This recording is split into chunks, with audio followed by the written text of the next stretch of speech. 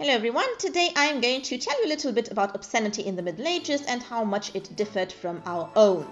This is Irina, I'm a historian and teacher, and if you want to support me with this channel, do hit the subscribe button, I would be very grateful.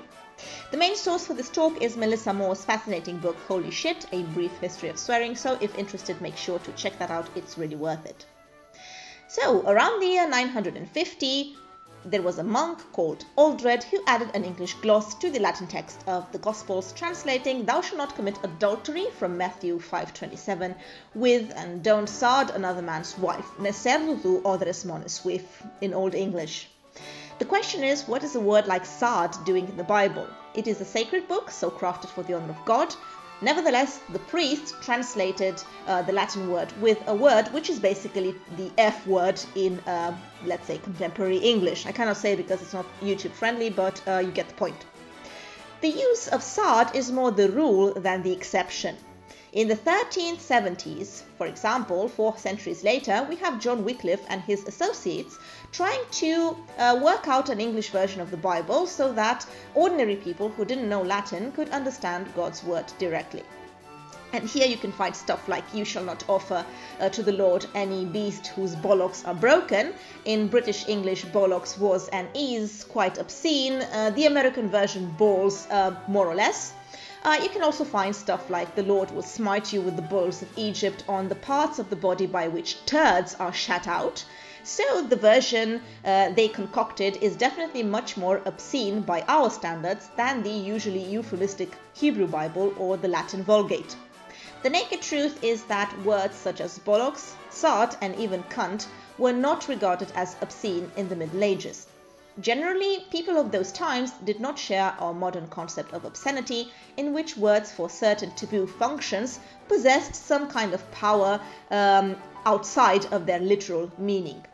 They were concerned with other things, such as foul words, but these words were not equivalent with obscene words. Foul words were any words that could lead people into sin, so words that had a bad moral effect. Any word for that matter could be a foul word if its use enticed its speaker or hearer into doing some sort of evil, whether that would be uh, theft or murder or gaming, whatever. The worst, most dangerous kind of language in the Middle Ages was swearing, but swearing at the time had a very particular meaning, the biblical meaning. It referred to oaths by God. The holy provided the strongest taboos. Within the thousand years of Middle Ages, say roughly from the fall of the Western Roman Empire up to the 1500s, there were, however, signs that this attitude was changing and becoming more like the contemporary one. Combined with the rise of Protestantism and with it a strain of Puritanism, this, um, let's say, civilizing process slowly transformed formally um, innocent words into what modern observers would recognize as obscenities. Words that to modern eyes would be obscene appeared everywhere in medieval English. Shitrow was the common, ordinary name for heron. Pissabed was the name for dandelion. Windfucker was the kestrel. Cantor was a word for smartweed. So a lot of words used to designate um, animals or plants. Medieval street and personal names also featured words that would we would consider to be, to be obscene nowadays, such as Gropecunt Lane in Oxford or um, Shitwell Way in Warwickshire, and several towns even had the name the Pissing Alley as a street name. You also had surnames like Thomas Turd or Robert Clevecunt. Dictionaries and Vulgaria, books designed to teach young children how to speak Latin, were also full of such terms. The Ortus Vocabulorum, for example, printed in the 1500s, defines the Latin vulva as Anglica quante, so a cunt in English. Likewise, arse was the standard way to refer to the buttocks. Arse, shit, fart, and bollock really date from the Anglo-Saxon times or the early medieval times. Other obscenities are uh, of more recent date. The Abbot Elfric's 10th century collection of Latin English vocabulary calls nates arse muscle and anus arse hole. Despite their name, Vulgaria was, were not supposed to be collections of bad language. They are vulgar in the old sense of the word, meaning common or vernacular. These lists of English words and phrases with their Latin translations were used in medieval and Renaissance grammar schools by boys 7 to 12 years of age. The Vulgaria compiled by John Stanbridge, for example, in 1509, included not only parts of the body but also uh, phrases a schoolboy needed to know, such as if you want to say, I am weary of my life, um, you could say, I am almost beshitten. Medieval schoolmasters were concerned with bad language, but Stanbridge, Vulgaria makes it, makes it clear that words such as beshitten or turd or piss or yard, that would be a man's penis, uh, or asshole were not it. Medical texts were also full of terms we find obscene today. Um, how a man's yard has two holes, one for urine and one for sperm, how the bollocks collect blood to make sperm, and what to do if a man's penis gets accidentally cut off. Well, if you must know, you should anoint him with oil of roses above his ass and the region of the yard, and then burn him with a hot iron to stop the bleeding. Chaucer's Canterbury Tales is also very scatological. He often uses terms like turd, shitten, ass, and he is also very liberal with swive, which, along with sard, was the direct word for copulation until the F word came along in the 1500s. The term dight is also used, being a slightly more polite way to say the same thing, akin, akin to today's screw. Mystery plays, which were performed on religious holidays and which dramatized events from biblical history, were also fairly obscene by our standards. So these are words we still employ nowadays, but there are also many obsolete ones like sard I mentioned before, or you also had keke, identifiable, as the clitoris, or pintle, tas or yard, with yard actually an euphemism for uh, the male uh, body part. Um, also meat and wear were also words used by women as metaphors for their husbands' penises.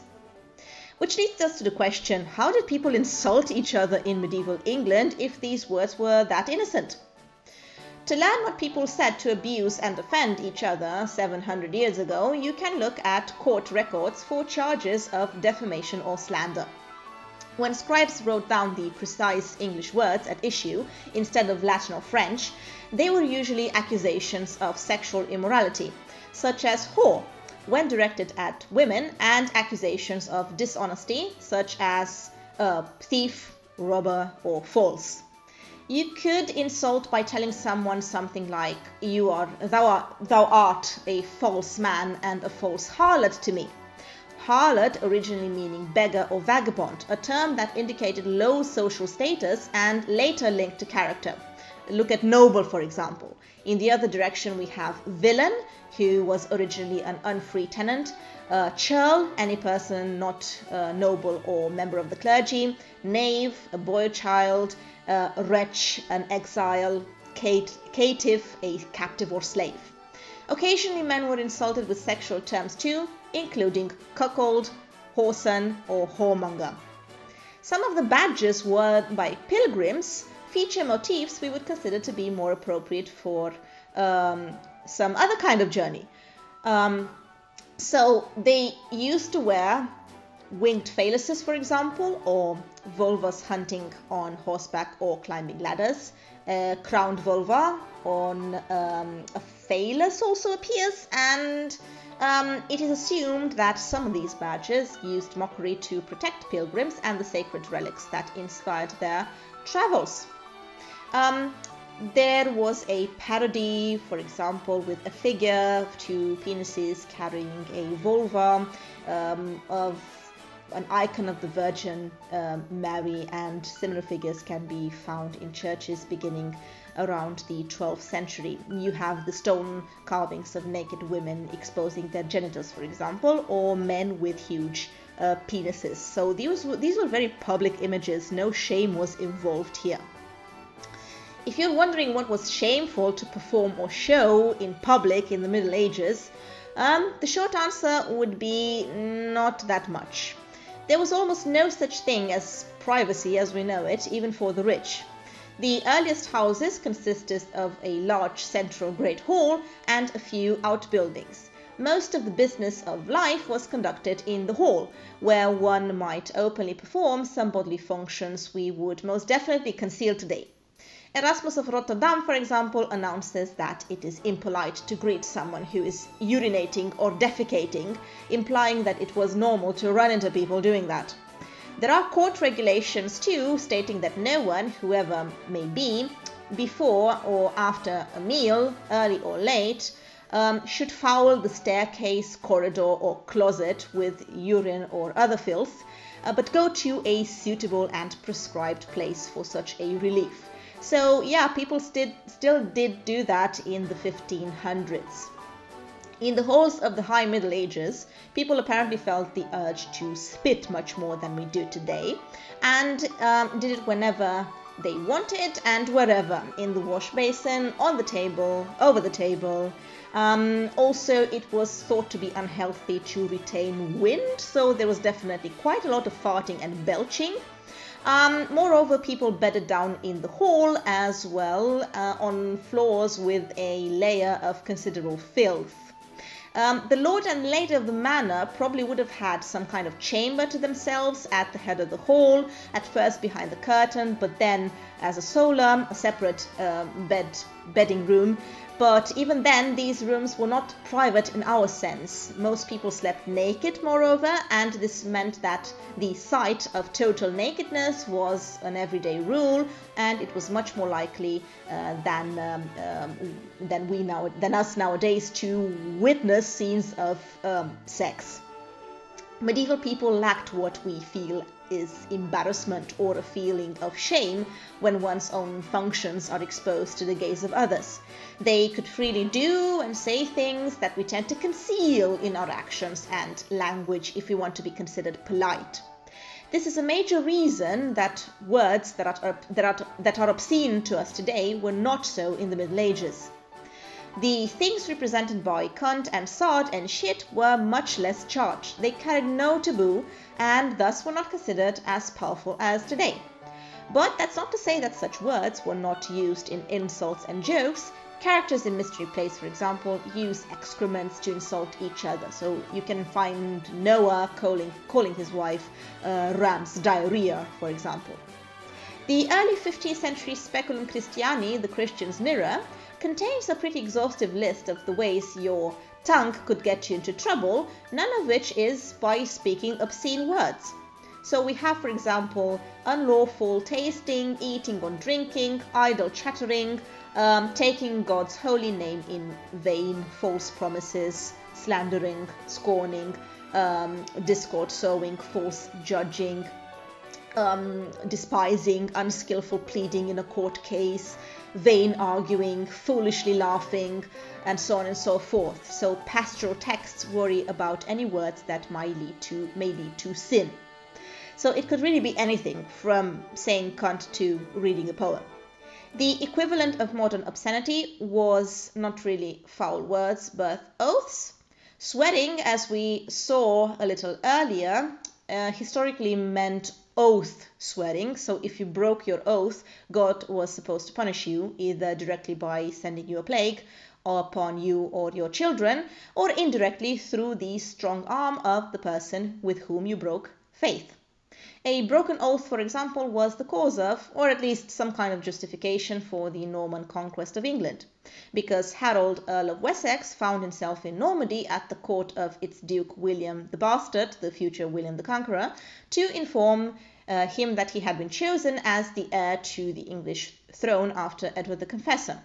Whether he arrived there by accident or design, Harold swore an oath of fealty to William, but then he acceded to the throne himself. In trials by ordeal, the witchcraft trials, post medieval to be fair, God was thought to be judging the guilt or innocence of the accused. If the person was innocent, God would intervene directly to make sure that they were not burnt by the iron or whatever fun things people did back then. Um, would damage God's honor and reputation, denigrating the holy name that language should instead praise and glorify. Well, eventually people did realize that God didn't always punish the culprit. Um, Nevertheless, swearing by the parts of God's body was also considered improper swearing, for example, by the blood of Christ, by God's arm, bones, and so on and so forth, uh, because it was considered a perverse version of the sacrament. In the uh, Eucharist, the priest speaks a working word to create God's body, then breaks it with his hands. In swearing, those who utter this uh, formula can break God's body with their words alone. So there you go. A couple of fascinating facts about how obscene medieval people were. Uh, hope you got to know them a little better. And until next time, please support me with a subscribe so I can grow this channel and make more interesting content in the future as well. All the best.